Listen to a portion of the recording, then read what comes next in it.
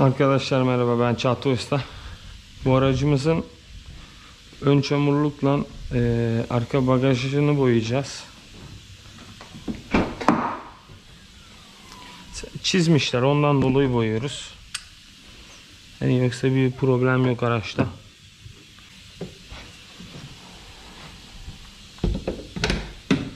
Bunları da vernik atacağız. Burayı da çizmişlerdi. Bunu atmışken dedim buna da atayım. Kapalı boyamayacağım. Açık boyayacağım ki daha güzel hani verniğimiz yayılsın, güzel olsun. Çünkü kapattığım zaman düz oluyor. Buralara tam gelmez. Gelse de çok vernik harcamış olurum. İlk önce bu kısımları kapatıyorum arkadaşlar. Zaten ondan sonra kenardan ters bant yapacağım. Tam içine sokmuyorum ki verniğimiz girsin. Sadece camı kapatıyorum. Cama gelmesin yeter.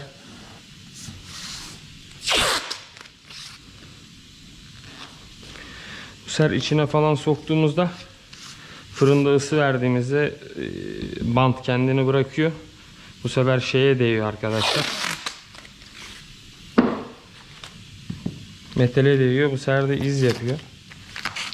O yüzden riske gerek yok.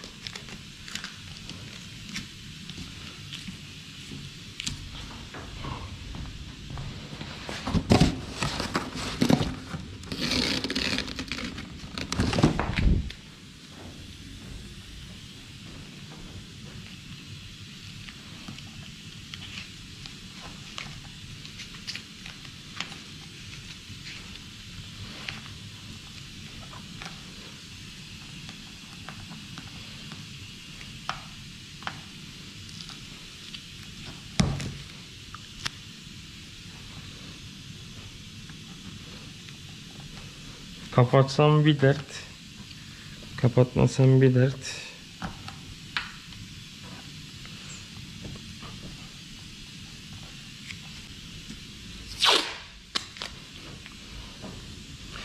Buraya vernik atacağım için şuraları şimdiden kapatayım ki sonra buralara vernik gelmesin. Çünkü boyayı attıktan sonra sökeceğim bunu. Beraber vernik atacağım. Arkadaşlar bu arada e, farlar olsun işte stoplarınız olsun arka stoplar plastik aksamlar olsun. Kaliteli vernik attığınız zaman ne solma yapar ne de hani atma yapar arkadaşlar. Eğer düzgün bir şekilde hazırlarsanız düzgünden kastım zımparası olsun. İşte temizlemesi olsun, zeminin temiz olması olsun. Mesela elinizin yağlı olmaması falan filan bunlar hep şey. Mesela burayı ellediğim zaman ister istemez burada hafif yağlar oluyor arkadaşlar. Ondan sonra burayı ellediğim zaman orada ister istemez sıkıntılar olacak. Bunu yaparken de dikkat edin.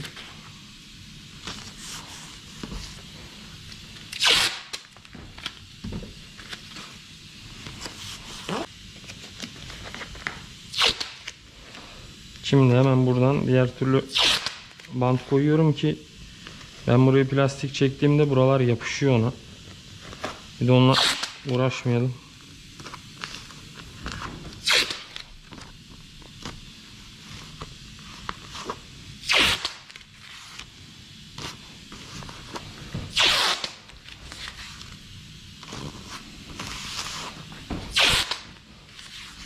Zaten bu meslekte arkadaşlar zaman alan şey maske. Boyaması yarım saatlik bir şey. Yarım saat bile değil hatta.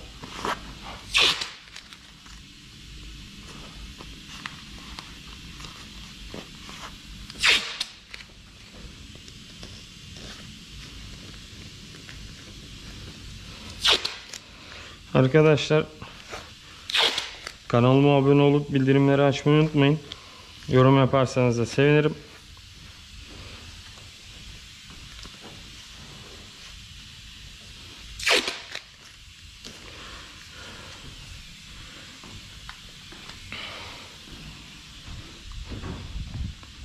Şimdi burayı da yapalım. Bu kapıyı açacağız. Şu altta bir tane maşbiyeli bant. Çünkü çok pislik var. Ondan sonra şu üst kısma da koyalım. Oradan yürüyor çünkü vernik. Ondan sonra bu kenar zaten temiz daha önceden yüzey temizleme metinleri sıkmıştım hazırlarken. Buraya bu şekilde bant koyuyorum iç kısmına.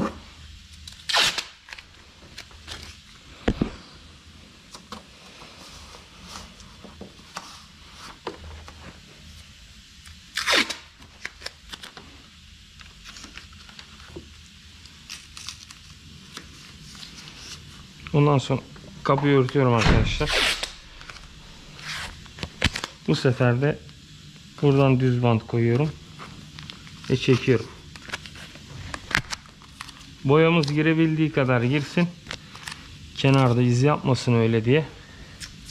Çekiyorum ki girebildiği kadar girsin. Zaten içeriden bantladım. Hem içeriden toz gelmeyecek hem de güzel bir görüntü olacak. Hani buradan baktığımızda kenarda iz kalmayacak. Çünkü bu bantı böyle koyduğumuz, çektiğimiz zaman ters bant yapıp koymuş gibi oluyor. Düz bant koyup düz bant koysak iz yapar. Şurayı biraz çekmemiz lazım. Gelmedi çünkü. Şimdi oldu. Burası tamam. Burası da tamam aşağısı. Şuraya biraz daha sokalım.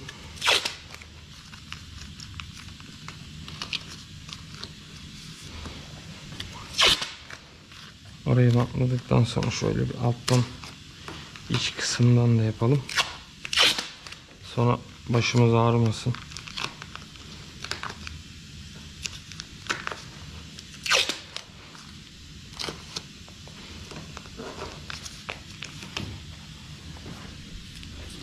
Orayı yapmadan önce şu farın burayı kapatalım ki Görüyorsunuz değil mi arkadaşlar? Buradan attığım zaman buradan yürür gider içeriye. Böyle kapatmamız lazım.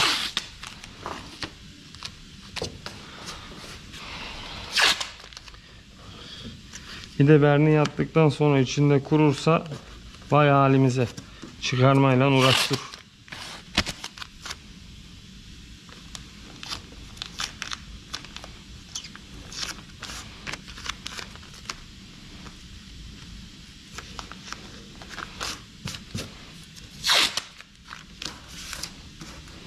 Burayı kapattık. Buraları kapattık. Şimdi bu içi kapatabiliriz. İçi de gene aynı şekilde. Artık biliyorsunuzdur çamurluğu nasıl kapattığımızı.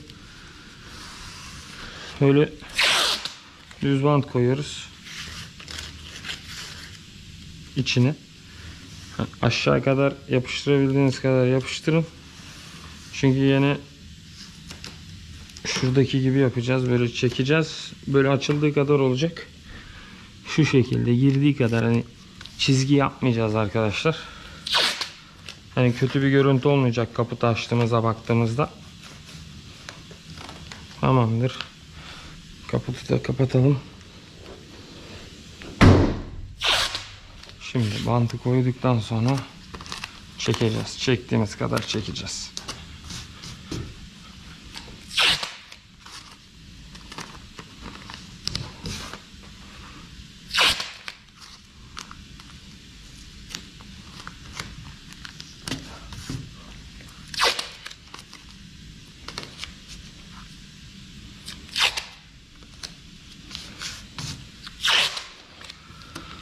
Arkadaşlar kanalıma abone olup bildirimleri açmayı unutmayın. Yorum yaparsanız da iyi olur. Hani bana destek olmuş olursunuz.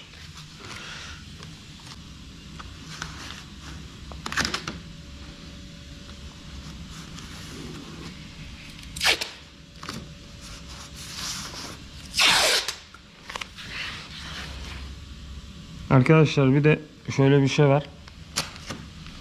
Bir iş yaparken asla başkasının işini küçümsemeyin. Kimseyi küçümsemeyin. Öyle söyleyeyim. Kötü yapsa bile hani eleştirmeyin. Siz kendi işinize bakın. Kendiniz düzgün temiz yapmaya bakın. Başkasına kötü yorum yazmaya gerek yok.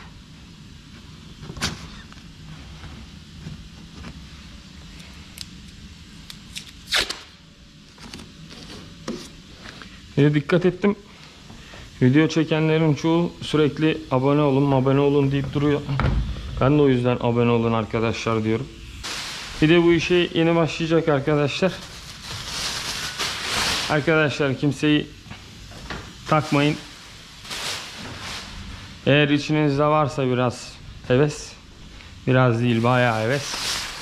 Bu işi yaparsınız. Hani kimse anasının karnında öğrenmiyor arkadaşlar. O yüzden hevesiniz olsun. Kimseye kulak asmayın. Gerisi gelecektir. Güzel bir meslek. Hani gerçekten iyi bir meslek.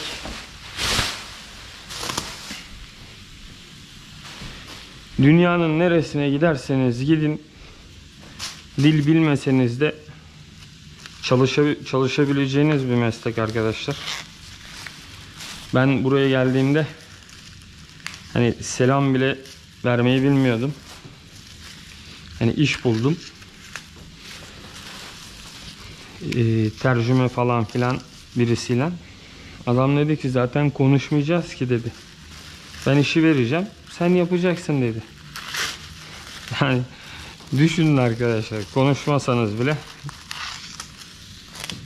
iş bulabilirsiniz. Tabii şimdi ayrı mevzu. Yaklaşık bir kaç yıl oldu? 5 yıl mı ne oldu? Bir ara Türkiye'ye geri dönmüştüm. Şimdi geri geldim Fransa'ya. Yani dil mil artık problem değil arkadaşlar.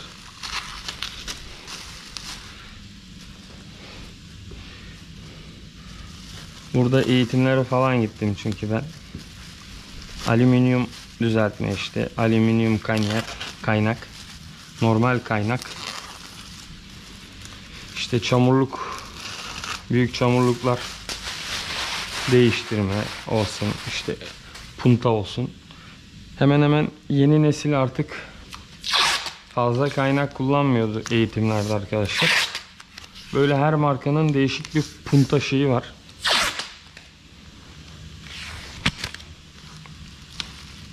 Punta demeyeyim de böyle perçin gibi diyeyim daha doğrusu.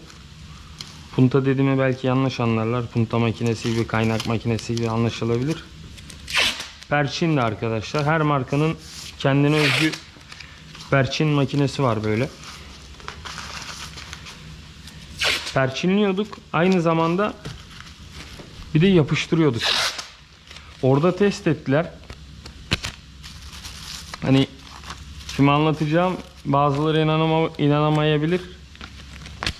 Kaynak yaptık aynı parçaya.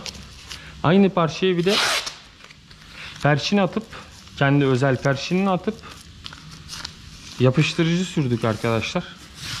Ee, kaynak 350 350 kiloda e, patladı. Ama e, perçin ve yapıştırıcı hemen hemen 800 kiloda patladı arkadaşlar. Onu görene kadar adama diyordum ki ya kaynaktan sağlam mı olur ne diyorsun falan filan. Onu gördükten sonra harbiden kaynaktan sağlam oluyor arkadaşlar. Tabi bunun maliyeti biraz daha şey. Perçin makineleri biraz çok pahalı. Hemen hemen ben en kötü e, Alman BMW'lerine bakmıştım işte. Kaç paraydı? 8000 euro muydu neydi sadece perçin cihazı. E tabi sürekli yapıyorsanız bu işi sıkıntı yaratmaz. Ama arada bir yapıyorsanız 8 8000 euro vermeye gerek yok. Hani Türkiye'de de bu şartlar biraz zor. Sürekli yapsanız bile 8000 euro iyi para yapıyor arkadaşlar. Türkiye'de.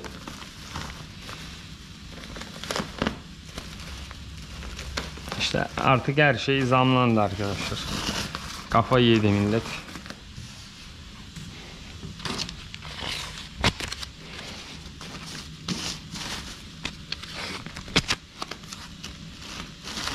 Dediğim gibi arkadaşlar kanalıma yorum yapın. Nokta atsanız bile benim için değerlidir. Abone olup da destek olmayı unutmayın arkadaşlar. Yeter artık bir 2000 abone olalım arkadaşlar.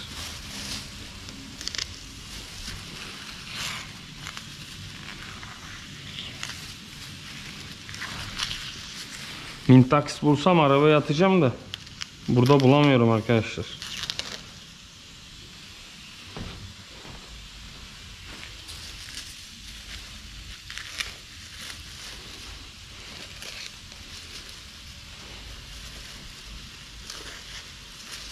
Hani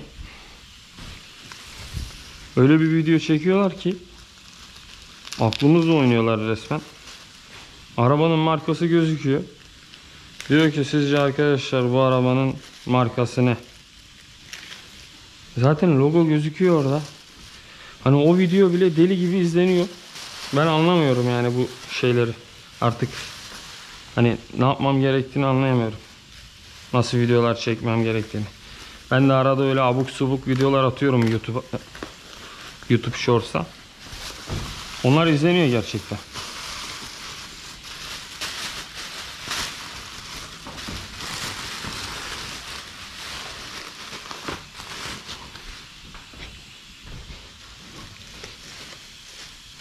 Neyse biz gene çizgimizden şaşmayalım. İnşallah bir gün 10.000 falan abone oluruz.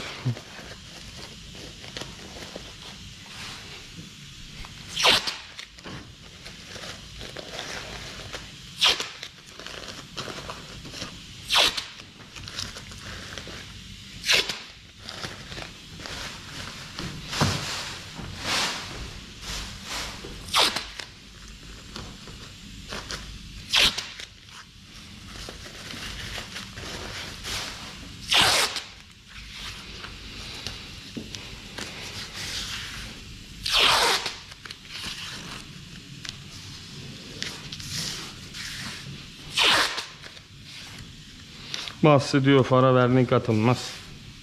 Yok o yapılmaz bu yapılmaz. Ya yapıyorum bir şey olmuyor arkadaşlar. Hani hatta kendi aracıma uyguladım. Bak işte illa küçük mant kullan diyor.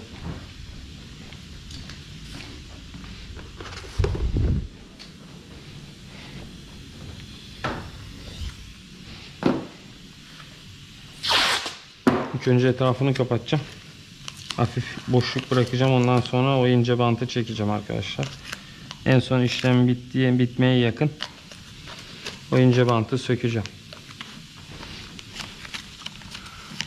Arkadaşlar kendi aracımda var. Vernik atıyorum. Hani farlarıma falan. Kendi araçlarıma genelde. Pasta da yapsam güzel olur. Pasta biraz uzun sürdüğü için uzun uğraşmamak için direkt vernik atıyorum. Hani 3 yıldır kullanıyorum. Ne sararma var, ne atma var, ne patlama var, ne çatlama var. Ama tabi kullandığınız vernik kaliteli olması lazım. Ondan kaynaklanabilir. Bulunduğunuz ortamın sıcaklığı, kaç zımpara vurmanız. Bunlar önemli detaylar. Bunlardan birisi kötü olursa hani yaptığınız işlem de kötü olabilir.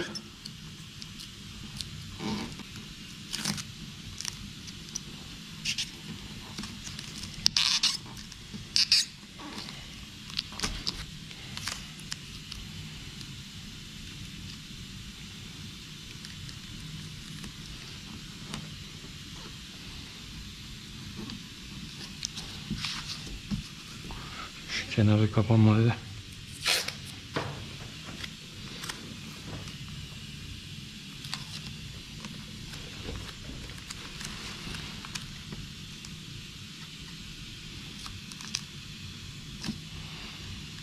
Arkadaşlar onu niye sökmediniz, bunu niye sökmediniz diyebilirsiniz. Şimdi ben bunu boyduktan sonra 15 dakika sıcaklık vereceğim. Ondan sonra müşteri arabasına binip gidecek.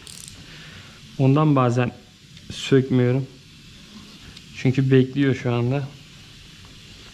Yani arayacağız gelip alacak. Maskemiz bitti. Şimdi sadece bunları maskeleyeceğim. Boyayı attıktan sonra sökeceğim arkadaşlar.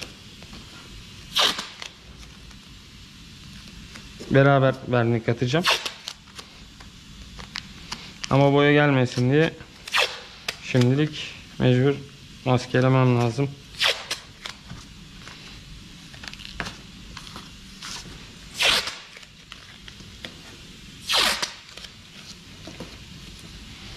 Tamamdır. O tamam o tamam. Buraya boya atmayacağız zaten. Bunu kapatmasak da olur. Bu tarafa dolu değil. Böyle böyle atacağım. Buraya gelmesin.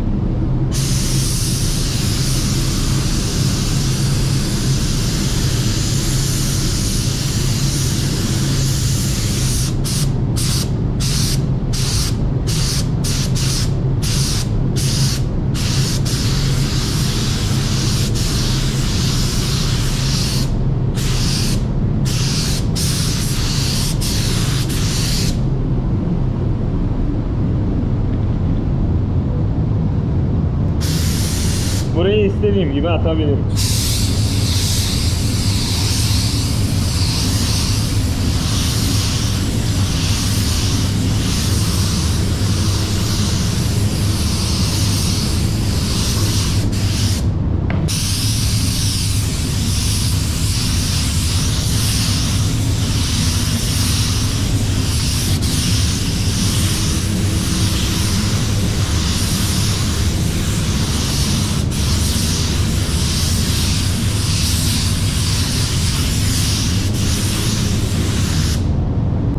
Arkadaşlar boyamız kurudu. Bantımızı söktük. Şimdi iki kat vernik atacağım.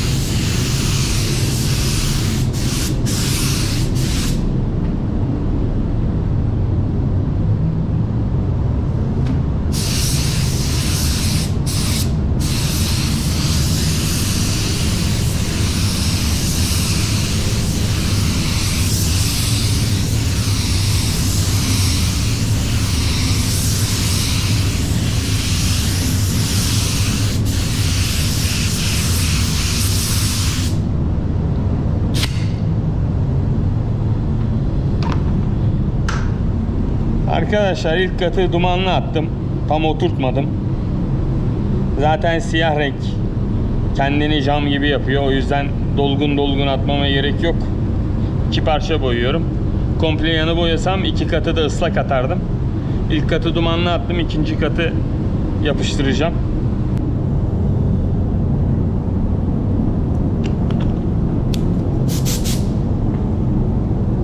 Tabi buraya gelirken buraya gene hızlı geçeceğim. Fazla atmayacağım.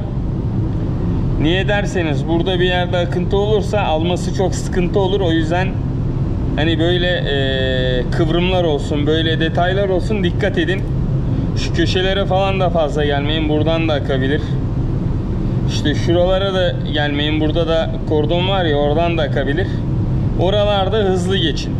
Ama diğer kısımlarda rolanti.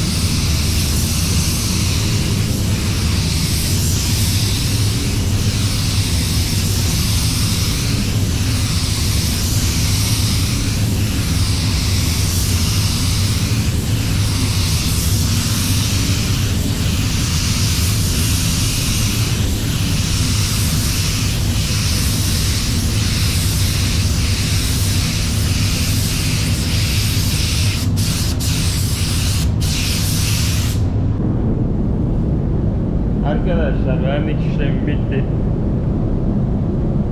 Verniğimin yayılmasını bekliyorum. Şöyle göstereyim. BMW'lerde zaten bu portakallıkta. Dediğim gibi her araca aynı portakallıkta atmıyorum arkadaşlar. Her araca farklı portakallıkta atıyorum. Çünkü her aynı her araca aynı portakallıkta atarsak yan parçalara baktığımız zaman kötü bir görüntü elde ederiz.